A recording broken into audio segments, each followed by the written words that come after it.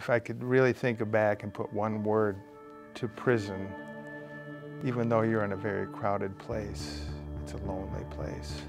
Most of the folks that are incarcerated receive very little outside communication. I was six hours from home, and the majority of the, the, the folks that were incarcerated, I mean, it was the same. So we just got very rarely got a visit. We couldn't call because it was too expensive.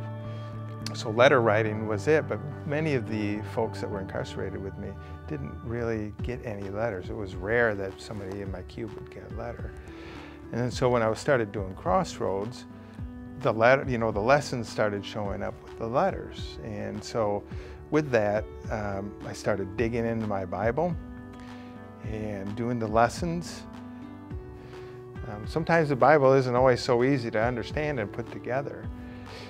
So as a new Christian, you know, the Crossroads mentors helped help me understand what I was learning. But the beautiful piece that went with the lessons was that letter that came with it. And that letter was just powerful. It's really like gold. And it always seemed to kind of be the right words at the right time. My cube mates weren't getting any other letters. They'd ask if they could read my letters. Course, I'd give them to them, and we have discussions about them. In fact, many of the, I kept a lot of the letters. Through that journey, you know, with Crossroads and, and the inside church, um, you know, I kind of got out of the hole that I was in.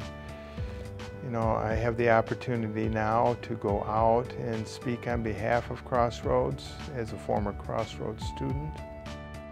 I can never really put it into words um, when I'm speaking to the mentors about the impact that they are making.